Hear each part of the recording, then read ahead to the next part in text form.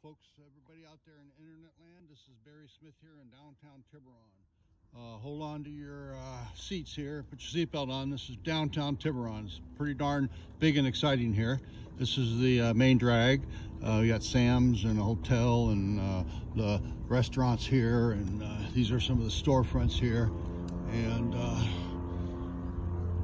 lot of dress stores, you know. Oh, here's the famous Sam's Anchor Cafe uh, waterfront hotel here. A lot of tourists come there.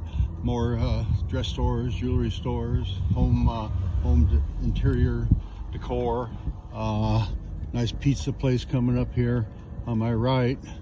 Uh, Malibu Farms came along uh, semi recently. kitchen bungalows around the corner.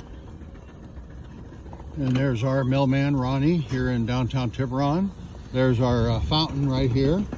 And uh, over here appears to be on the beaten path, but uh, lots of people park and walk to uh, uh, the main street where we just were and go right by my art gallery. Here's Petite Left Bank came along uh, about a year ago, I'd say. And uh, over here, some part, there's my knife sharpening van over there, the big black beast. And then Vanguard Realty is my neighbor. And then as we pull up here to the world famous Smith Gallery Tiburon, where my precious pretty kitty is in there. You can see the wonderful reflections of the town.